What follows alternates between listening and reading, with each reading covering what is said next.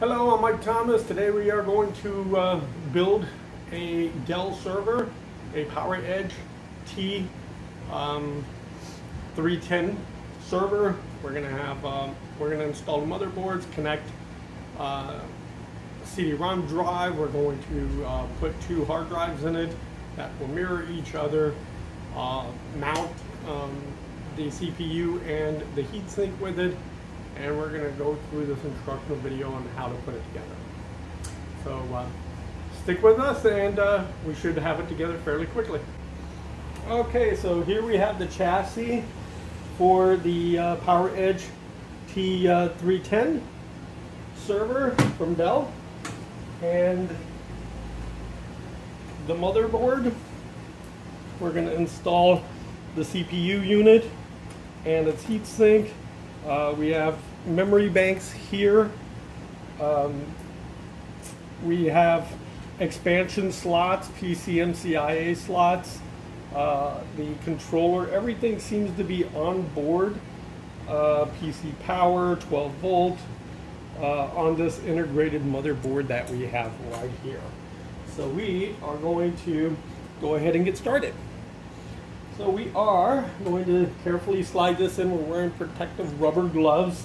Uh, there are, um, keeping our A plus certification in mind, we are going to put this, slide it right in here, moving around some of the cables. We want to make sure that we're not going to, we're going to have access to all of our cables. Uh -huh. So we seated the motherboard and we are putting in all of its components. I'm going to screw in the motherboard really fast. Make sure we have it locked in and that it's not moving. I'm going to torque it like I do any car because this way I don't want to start getting all of these.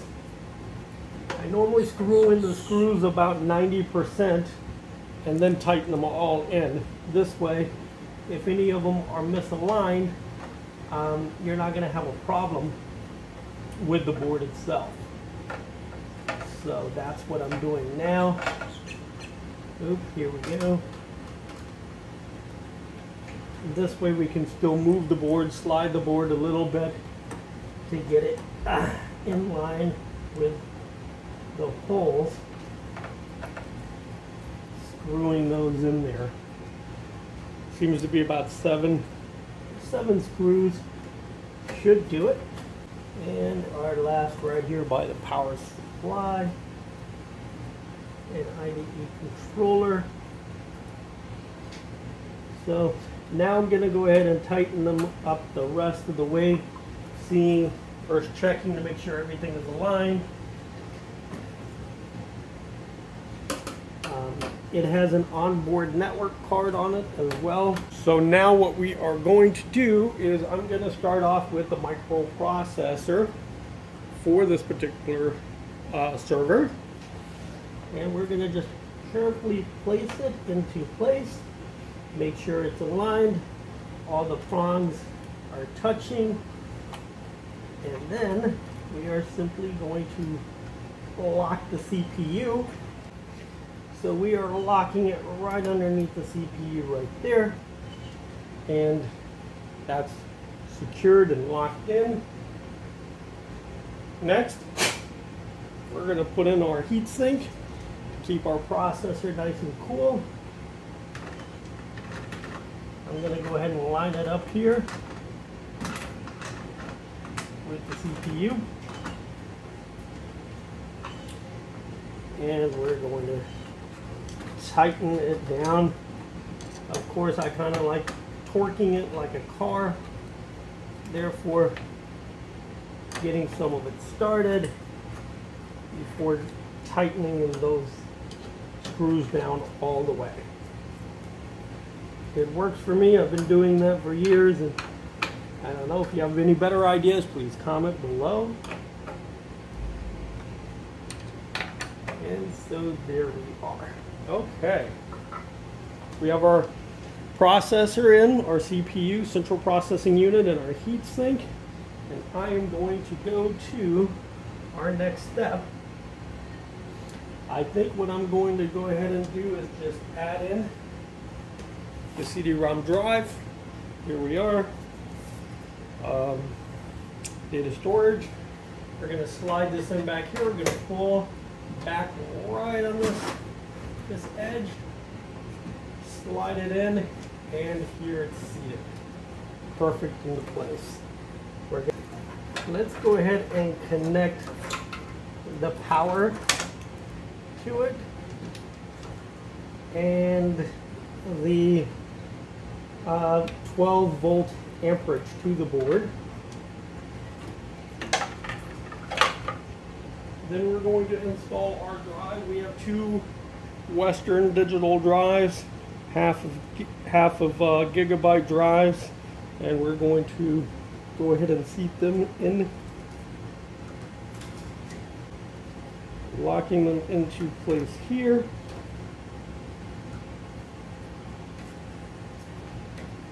There we go. Make sure we get them in correctly. And let's see, this is our hard drive one. We're going to connect the control, we're going to connect the data ribbon to it. This is our drive three. We're going to connect the data ribbon to it. And then of course I have them labeled here to make it a lot easier for me to work with.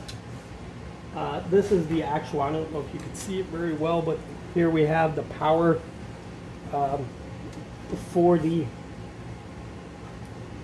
for the controller.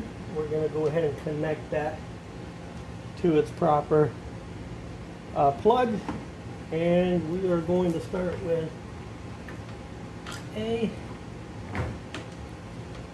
and C or B over here. I'm not sure if you can get a good view of that, but I will go ahead and show you as soon as I plug them in. Be careful not to uh, force these cables in here. I have them labeled A and C right here uh, B and D right here and we are connected. So we have the power to the board, we have the connection to the hard drive, and we are continuing to build this computer. Here is the ribbon, the data ribbon for the actual board itself. We're going to go ahead and connect that. And we have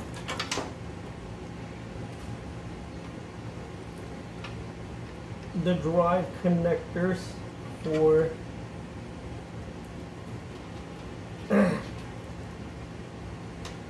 for the CD-ROM and the power to the CD-ROM. Fan, keep the unit cool. We're going to put that in there, but we're done with all of the major components here. We're going to line up the the fan here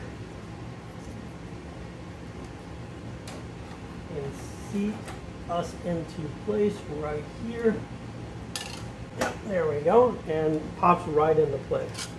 And of course we're going to connect the power to the fan make sure that we're going to get nice and cool air and that is the basic configuration of this particular server. It's the Dell.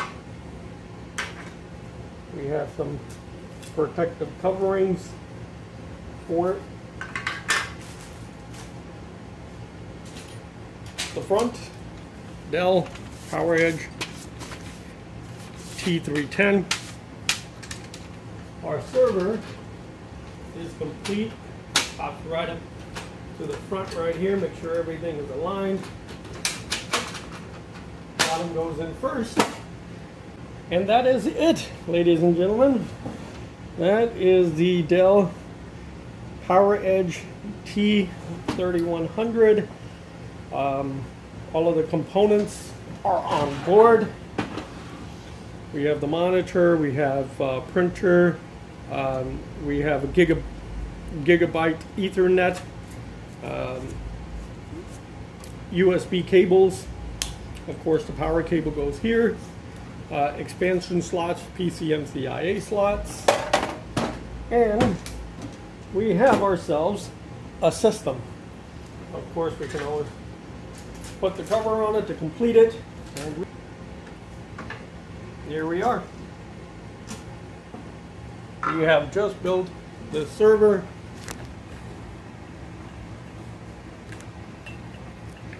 We've just built the server. Uh, pretty easy to put together. Uh, hardware components were all integrated on the motherboard. Uh, we can always disable motherboard features by uh, placing jumpers in a different sequence. Of course, look at the owner's manual, and we can add other components by disabling the onboard and putting new components in it. If you are looking to, if you're a gamer, uh, I would suggest going with a video card. It takes a lot of it takes a lot of bandwidth off of the processor, off the main CPU as it processes internal video information. So if you have a lot of graphics and you're dealing with a lot of AutoCAD or things like that, I highly recommend uh, a great video card. Of course, they change from time to time. Um, I used to use Viper card, but you know there are some other great cards out there um, with memory on board of that card. If you have any questions or any comments below, please subscribe, ring the bell for notifications, and let me know if you have any questions about building a Dell server. Thank you. Have a wonderful day. And that's it. I hope you enjoyed the video. Hope I didn't seem too nervous on my first uh, tech video. Uh, please comment below, subscribe to the channel, and have a wonderful day.